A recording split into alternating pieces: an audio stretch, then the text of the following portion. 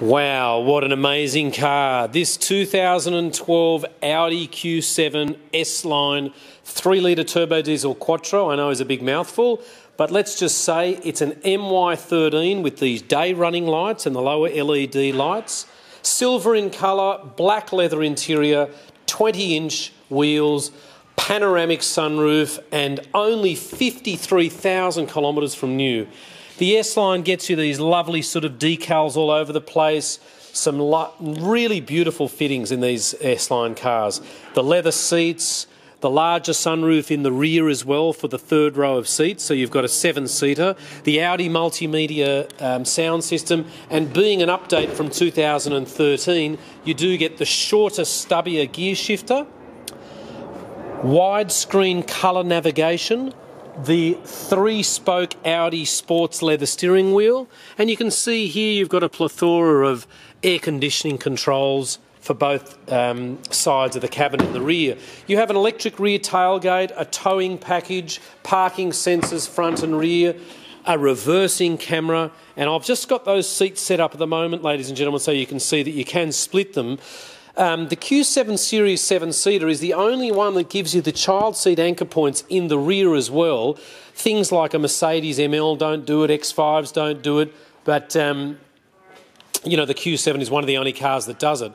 This metallic silver looks stunning. The two-tone uh, shadow chromed wheels. We do have the uh, parcel tray there, which is in perfect condition. And all you do is you just pop the button there and down the tailgate goes, which is fantastic for if you've got strollers and prams and shopping and so forth. Pirelli tyres, I think the two rear tyres look like they could need a change fairly soon.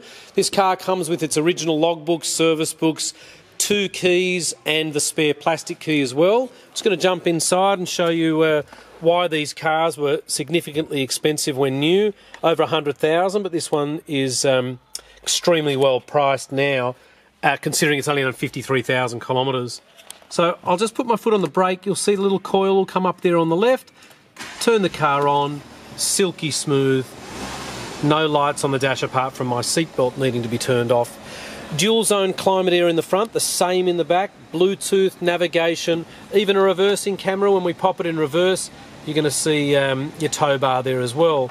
Not to say that this car has been used for towing, but it is extremely good having that reversing camera pointed straight down so you can look at the, um, you know, if you've got a trailer on there or a boat or something like that. So it was actually built very late in 2011, 2012 compliance. The reason it is an MY13, ladies and gentlemen, is that steering wheel, the gear shifter, and the surrounding LED lights there on the uh, front headlights. Our company is called the Oldtimer Centre. We specialise in pretty much European cars. There are the odd Lexus or Toyota that we've got.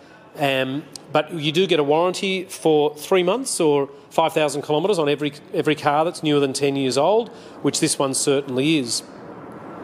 You can buy an extended warranty um, from us.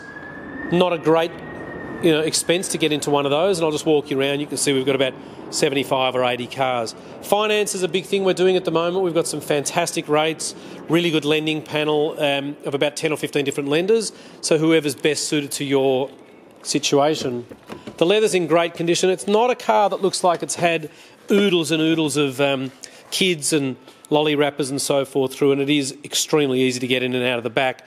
You might see from the video that it's not yet detailed this car, it's only just come in. And uh, we just wanted to get it up on the net and show you the car exactly as we get it.